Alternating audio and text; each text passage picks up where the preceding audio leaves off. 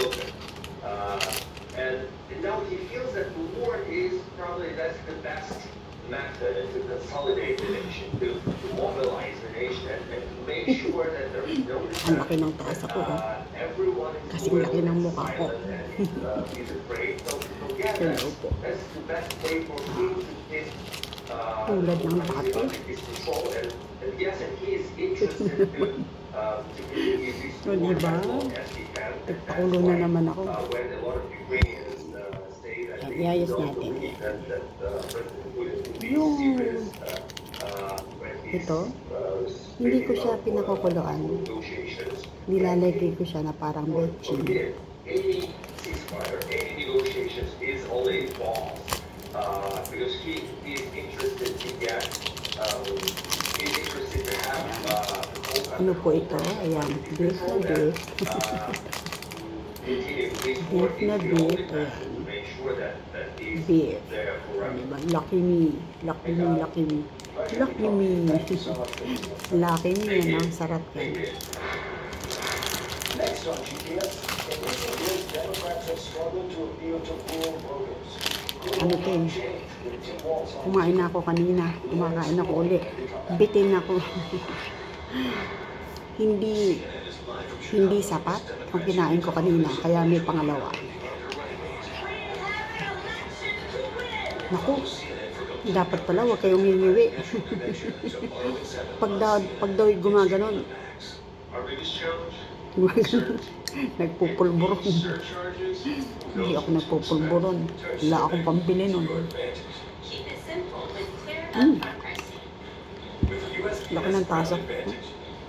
Kasi, kasi nahihirapan na ako doon sa mangkok pag nagpapakulo ako ng tubig sa microwave para doon sa aking mga noodles napapasok ako. So ito merong, te merong tenga. Kukuha lang ako nito. Okay na hindi ako mapapasok. Puno ito kanina eh. Eh sinukat-sukat ko. Tama lang pala na halos hanggang dito lang yung tubig kasi kanina puno ito eh tumapon doon sa microwave. Kaya naubos yung paper towel. Ginamit ko sa microwave.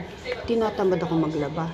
Itong boss ko, yung anak, mas gusto niyang bumili ng paper towel kaysa bumili ng sabon.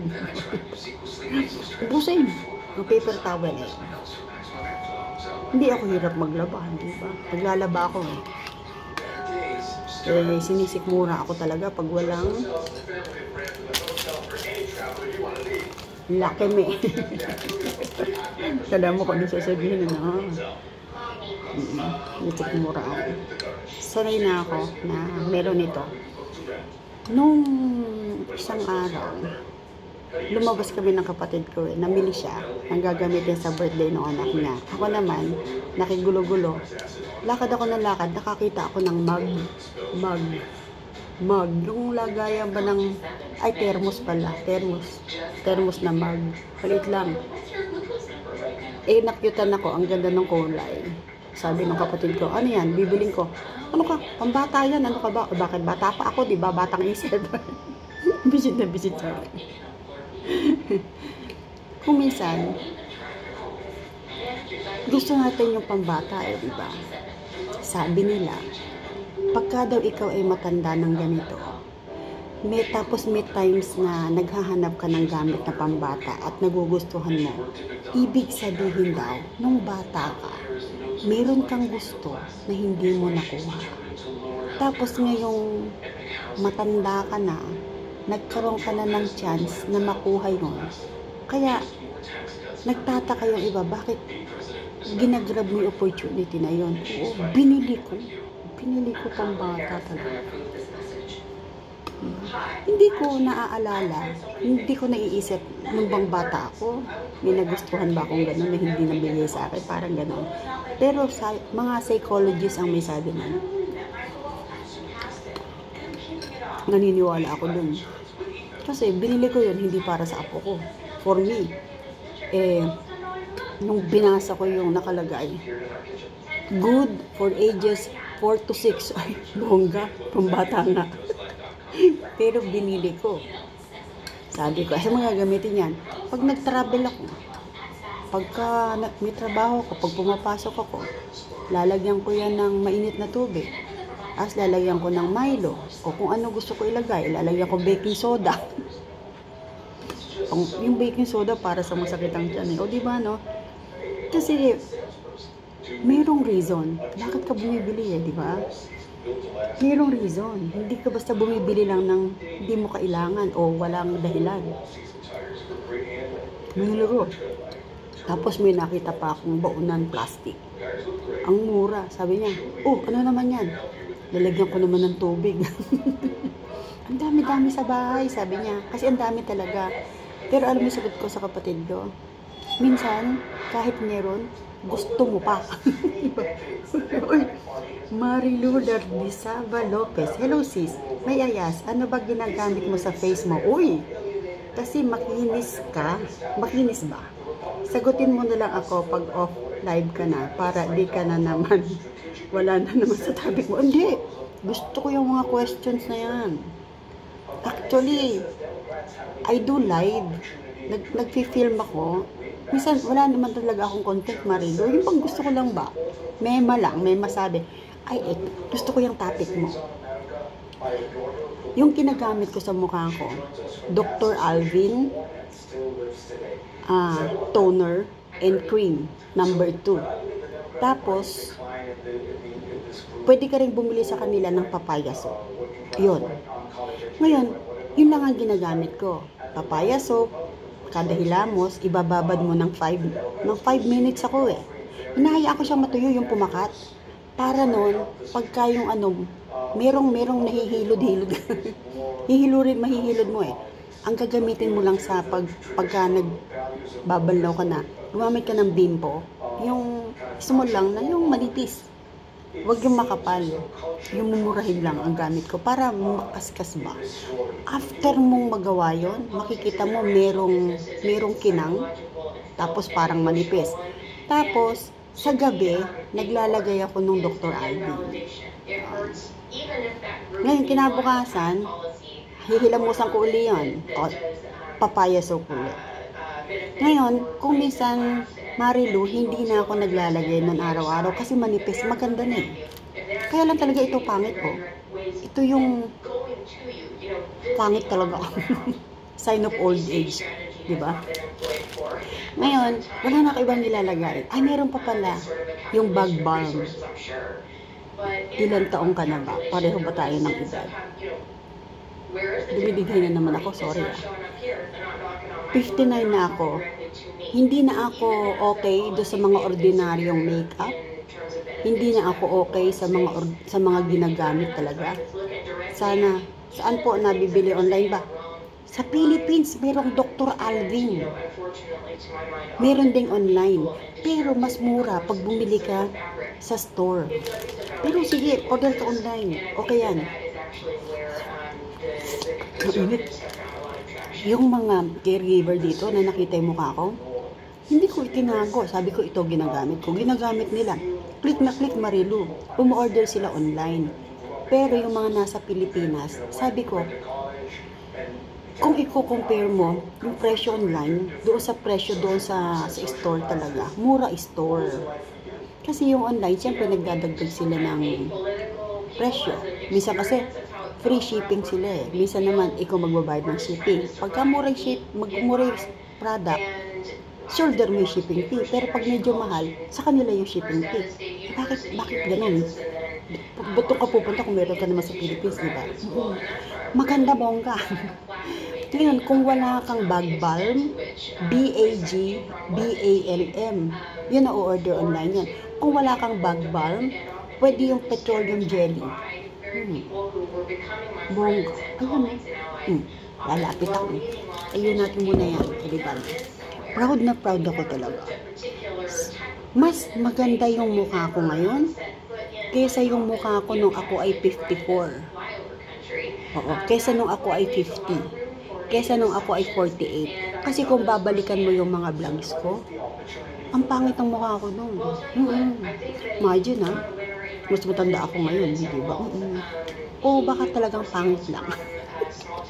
di ba? Hala, uuwi pa ako para makabili. Ay, asan ka ba, Marilu? Asan ka ba? Abroad ka rin ba? Umorder ka online. Akala ko nasa Philippines ka.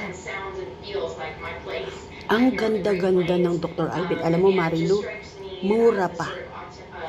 Kung unang gamit mo ng Dr. Alvin, ang suggestion ko, every other day maglagay ka. Sa una, makakaramdam ka ng mahapde, makate. Okay lang yon. Nakabili ako noong nabanggit mo na nakahanap ako sa Walmart. Ah, nasa Texas ka pala. Meron? Kung ka, huwag kang bibitiw. Sabi nila, um, ano daw, ano daw ginagamit ko. Ito, sinabi ko. Tapos, nag-comment.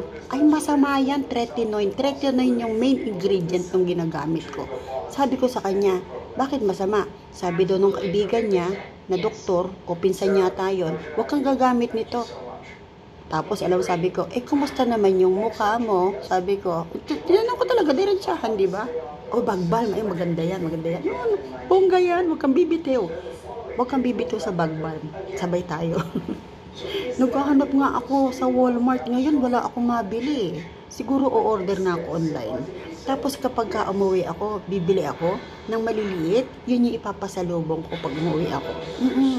Gusto ko matikman nila yung natitikman ko. Kasi alam ko, baka wala sa Philippines eh. Mm-mm. Kasi kumisan wala eh, hindi ba? Oo. Tapos, Marilu, ano, um, hindi ako nagpopolvo. Pag nakita niyo ako nangingintab, kalalagay ko lang noon ng bag balm. Pagka wala akong bag balm, nakalimutan ko, ang pinapalit ko doon, inihahalili ko, petroleum jelly, hindi Vaseline. Sorry, I don't have anything against Vaseline, okay? Ang akin lang, mas sticky siya kaysa sa petroleum. Ayoko na mas masyado sticky. Yung bag balm, same texture nung petroleum. Mm, gusto ko yan. Tapos lipstick. Mm. Mm. Ang lipstick natin talaga na mga may edad, dapat hindi red. Dapat pink. Mm. Yung mukhang totoo lang. Mm. Mura lang naman bag balm. The Walt, ilang piraso lang. Correct, oo. Mura, oo. Hmm. Diba, no? Oo. Tapos, hindi ako naglalagay ng ano, ng eyebrow. Dire-diretso na ako, no? May tattoo ako na nabura noon. Sabi ko doon sa kapatid ko, ang eyebrow pala, yung, yung ito, yung buhok, ayusin mo lang yan. Bumili ka ng gunting, yung naka-curve, pang dito. Okay na. Kaya pangit yung ating mga ganito, eyebrow. Kasi hindi natin inaayos. O, diba? O, nagkaroon ako ng content, ano, dahil sa'yo, Marilu. Kaya ang hanap ko kayo, eh. Alam mo ba, na kayo yung hinihintay ko tuwing umaga. At kayo yung hinahanap ko araw-araw. Hindi ba? Kasi pagka nag-comment na kayo, nagkaka-content ako. Or yung content ko na-e-expand. Diba? Parang, para siyang damit na ukay-ukay, na e, na flex Marilu. Makikita mo. Um, ang napapansin ko lang sa mukha ko, kasi ngayon ang gamit ko na is ganito eh. Every six days na ako. Uh, six days, and on the seventh day, parang pahinga, no? Kasi nakita ko na yung magandang epekto. Pinaghirapan ko yan, Marilu. hindi hindi nakukuha sa hindi nakukuha sa isang click yan. Pinaghirapan ko yan. Oo. Paano ginawa ko? Tiniis ko yung batikos. Bakit ang pula-pula ng mukha mo?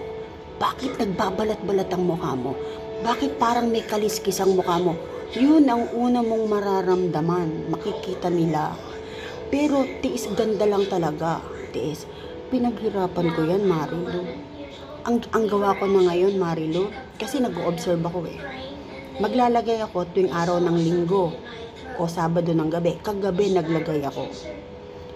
Tingnan mo, hindi na siya yung makaliskes, hindi na siya yung mapula, hindi na siya hindi na siya yung mukhang merong merong nakabalabal na kung anong brown color, di ba? Hindi na. Kasi every Saturday night o Sunday night na lang ako naglalagay. Yung Monday to Saturday, Monday magbabalat-balat. Tuesday magbabalat-balat. Pagdating na niya ng Wednesday, maganda na yung pagbabalat niya. Webes, ang ganda na. Friday, ang ganda. Sabado, ang kinis na. O, naglagay ako kagabi. Tingnan mo, hindi palpak, di ba? Kasi, produce na yan. Fruit of your labor, di ba? Mm-mm. Wala rin ako wrinkles sa noo. Di ba? Ito, meron akong mga lines dito pero hindi masyadong halata dito.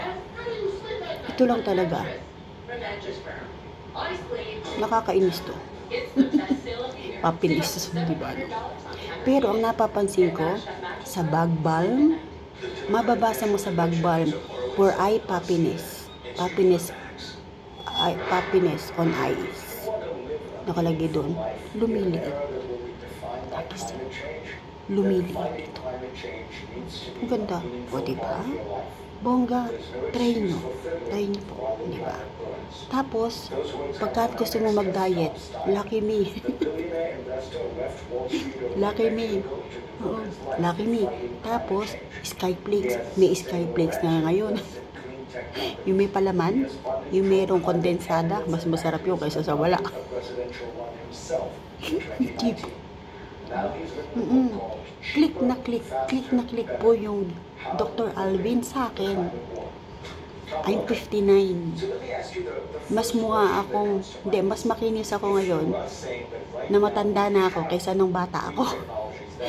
Kasi nung kabataan natin, Marilu, marami akong tagihawat. Marami akong blackheads. Marami akong whiteheads. Hukay-hukay yan. o, diba? Oo. Gustong gusto kong nagbibigay ng info. Gustong gusto kong nagbibigay ng o nagsishare. Di ba? Sabi ko nga, ano ang reason bakit ka nandito sa platform na to? Merong reason, Marilu, bakit ka nagtanong at bakit kita sinagot? Kasi yung iba, hindi nagtatanong, naghihintay. Mas maganda po magtanong, o di ba? Proud ako, proud Dr. Alvin. Kaya lang, di naman ako kumikita kay Dr. Alvin. Ang dami ko ng, ang dami ng buyer. ang dami ng, ang dami ng mga caregiver na gumagamit ng Dr. Alvin ngayon. Diba? Pasa-pasa sila. Tapos, ang sinasabi lang nila sa akin, minsan yung kadaldalan mo, Jane, may pakinabang. Pero, isa sila noon sa bumabati ko sa akin. Ang pangit ng mukha ni Jane. Nakita nyo ba? Kalis-kaliskis. Sa umpisa yan.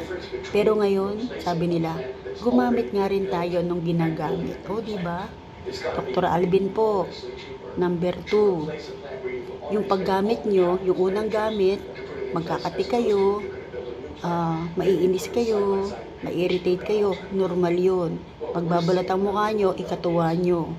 Ang tamang gamit po, every other day, pagka naman masyadong manip, makapal yan, every day, for 7 days. Tapos, obserbahan mo na, reduce na. Kung pwede kang every 2 days, every 3 days. Ako po, nag, nag every other day ako noon, naging, naging every 3 days. Bakit ang epekto? Ginawa kong every day. Ngayon, once a week. Oh, pinaghirapan ko yan. diba? Tapos, ano, kain lang tayo ng gulay, di ba? Uubra kaya sa akin, oo, ganito yan eh. Um, kahit, ala naman sa edad yan, alam mo ba Marilu, yung nanay ko, yung nanay ko ha, namatay yung nanay ko, 86 eh. 86, cancer. Kung ikukumpara mo yung skin ng nanay ko, nung namatay siya sa skin ko, hamak ganda ng skin ng nanay ko. Alam mo ba kung ano lang ang gamit noon? Funds. Hindi dahil sa may edad, eh, hindi kikinis ang mukha. Hindi totoo yun. Nakukuha ang lahat sa tiyaga. Kung paano yung tunay na nagmamahal, nagtsatsaga. Pag hindi tunay na nagmamahal, nang iiwan. diba? Pag hindi umubra sa iyo, try ka ra, try ka lang ng try. Baka sa kalaunan, babalikan ko babalikan ka din, ano, babalikan ka si Mr. Baka sa kalaunan, babalikan ka. Ako, ako, ako. ako. Eh, magagalit ang kabets. Di ba? Kasi ganito yan eh, um, kahit anong dikit ng kalawang sa bakal, kapag ka tama yung ginamit mo at kinuha mo sa tiyaga, tanggal ang kalawang. Tapos lagyan mo siya ng primer. Ganon ko lang tinitignan yung mukha ko.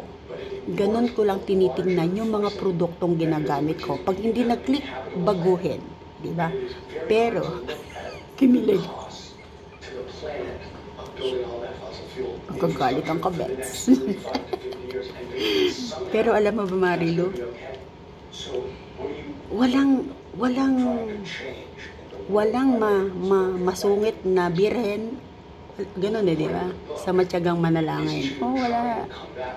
Pagpe-pray ko yan. Kabwisit, no? Alam mo ba, Marilu, hindi nila alam kung ano sa loobin ko.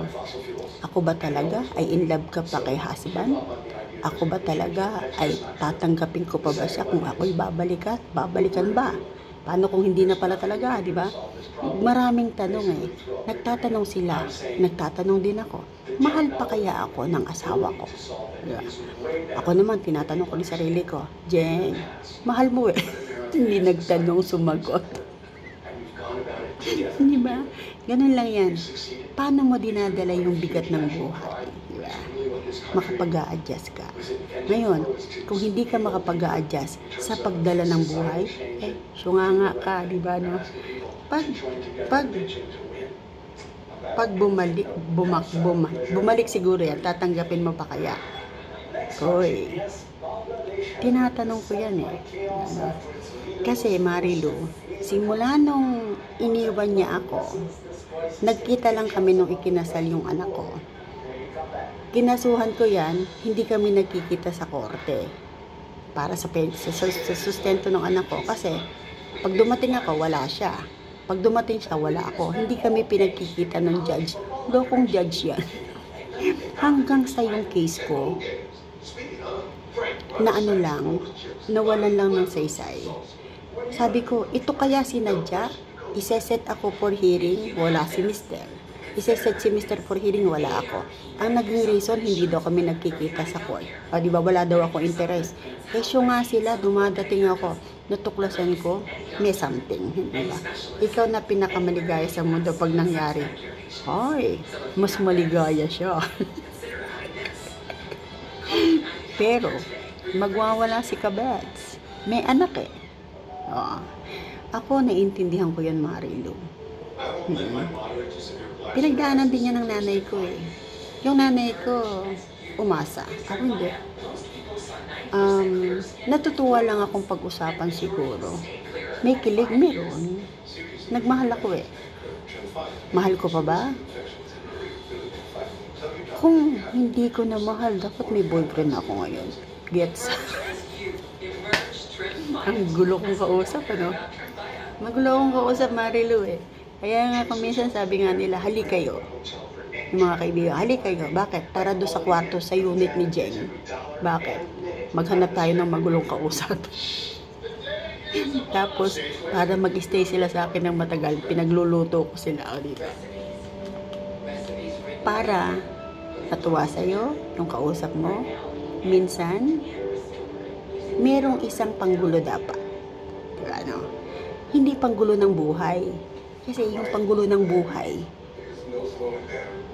sa mag-asawa, yung kabits yun. Hindi nagkakabalikan yung mag-asawa. Hanggang nandyan sila. Sorry, magulo ba ako Marilu? Teo, basta Dr. Alvin, don't forget. O, di ba? Nagkaroon ako ng, nagkaroon ako ng content, di ba? Thank you, Marilu, di ba? Sana maraming Marilu na mag-join, di ba? Imagine, pangatlo ko na itong live. Hmm? For this day. Di ba? Kung parang gusto ko ipakita sa inyo. Yung pasa ko, kasing laki ng mukha ko. Kasi napapaso ako eh. Sana magkalapit tayo, oo. Diba, no? Para nun, mag, magla-live tayong dalawa, diba? Ang sarap ng merong kapwa Pinoy nakata- nakasama, diba? Ako kasi, yung mga nami-meet ko ditong mga Pinoy, Marilo, um, hindi ko naman sinasabing masama ugali nila, kaya lang, sa umpisa mabait sila sa akin eh. Tapos bandang huli, um, may, nagkakaproblema na ako. Lalo kapag halimbawa yung hindi sila pwedeng pumasok na pumasok sa trabaho. Pare-pareho kaming caregiver, hindi pwedeng pumasok sa trabaho. Maghahanap yan ng fill-in. Katabi lang ako. Kasama ako sa tirahan. Pero naghahanap sila sa malayo. Sabi ko nga, ito naman ako. Ba't ayaw mo ako? Ay, hindi. Ikaw sa akin, diretsahan. E paano kung masulot mo kami? Grabe ka naman. Hindi ba? Ba't naman kita susulutin? Hindi ba? Mga dudosang mga pili, mga, mga dudosang mga Pinoy, di ba, no, Marilo? Oo. Sabi, sana mapunta ako ng Texas. Pupuntahan kita. Grabe, no? Napag-aaralan ng lahat, Marilo. Pero ayokong pag-aralan kung paano kalimutan yung asawa ko. Wala sa bokabularyo ko yan. Ang pinag-aaralan ko, kung paano maiibsan yung sakit na dinulot ng mga kabets na yan. Totoo lang ako, di ba? Ganyan, mga Pilipino. Ay, naku, mga walang hiya mga Pilipino. Sa totoo lang. Kasi Pilipino ako, walang hiya din po ako. Walang hiya akong legal wife. Pag sinaling ako nung kabet. Kabet, sinaling ako kasi. Sinaling ako Marilu eh. Para siyang kondesa, para siyang prinsesa, para siyang reyna, natatambay-tambay sa bahay ko. Tapos, akala mo siya kung sinong pinagsisilbihan doon. Ang ganda niya, di ba? Pero maganda, promise. Matangkad. Maputi. Bata. O, di ba? So, yun. O, di ba, Marilo? O, bi- biruin mo, Marilo. Makaka 30 minutes na ako. Thank you. Di ba? Oo. O, ngayon, itong live ko na to, iisipin ko ngayon kung ano title. Kasi ang ganda ng content, nakausap kita. Kami pong mga vloggers, kam- meron ka bang page? Marilo, gumawa ka ng page. Follow-follow tayo. Hmm. Mer na mo, meron ka na. Page ba yung ginagamit mo na yan? Mag ano ka rin, mag, mag, mag reels. Kung ayaw mong magla-live, mag reels ka. Sige lang. Sige, bye. Nag-bye na siya, so magbabay na rin ako. Hindi ba? Oo. Ah, ang akin, maging totoo. Dahil truth sets free. Pinalalaya ko yung sarili ko. Doon sa konsumisyon na ilang taon kong daladala sa puso ko at isipan ko. Pinalalaya ko lang po. Pasensya na po. Doon sa mga bastos na nasasabi ko, sa mga garapal na salitang nabibitiwang ko. Dahil, pag po nakalaya na ako, siguro, hindi na ako magsasalita ng ganun. Humingi ng tawad. Sige po. Thank you for joining, Marilu. Nagbabay ka na eh, o bye na rin ako. See you uli sa mga live, sa mga reels. Di ba, no? Enjoy na enjoy ako sa platform na to. Sana nag enjoy din kayo. Ini-encourage ko kayo. Gawa kayo ng reels. Di ba? Ay, ako, boy. Why now lang? Why now lang? Hello? O hindi ba? Bo- boy, nanet ka lagi. Balikan mo yung pinag-usapan namin ni Marido. Maganda. About, ito oh. Boy, pinaghirapan ko to. Hindi, hindi yan nakuha sa isang linggo lang o isang buwan. Kaya natin yan. Ikaw pa, ito, itong sinanet ka lagi, maputi ito eh. Mas maputi siya. Talagang puti ito. Ako yung puti ko eh. Madilaw eh. May sakit sa atay. Ito puti talaga. Pag ikaw ang pumuti, ako, nanit ka lagi, maniwala ka. Dr. Alvin, bonggang-bongga. O sige po, ako naman nanit eh, ba't ba ngayon ka lang? Nanisi, ano? Sige po, ito si caregiver nana. Ah, di ba? Nagising ni alaga ko, pinaliguan ko. Sabi ko, do you want me to shampoo your hair? Yes. O, pinaliguan ko. Tulog. Sinusuyo ko siya. Kasi ang bagsik-bagsik niya. Nung wala siyang sakit, lahat ayaw sa kanya. Lahat ayaw niya. Titiisin ko. Magtitiis din siya. Magtitiis kaming tatlo. Si boss, yung anak, siya at ako. Hindi nila ako pwedeng basta patay sa Sinusuyo ko. Sige po. Nice talking to you. Nice seeing you here. Salamat sa panonood. Salamat sa pag-follow. Don't forget, use your page. Malay nyo, makatikim din kayo ng dolyar kay Meta. Di ba, no? Loves ko kayo. God bless sa ating lahat. Dr. Alvin.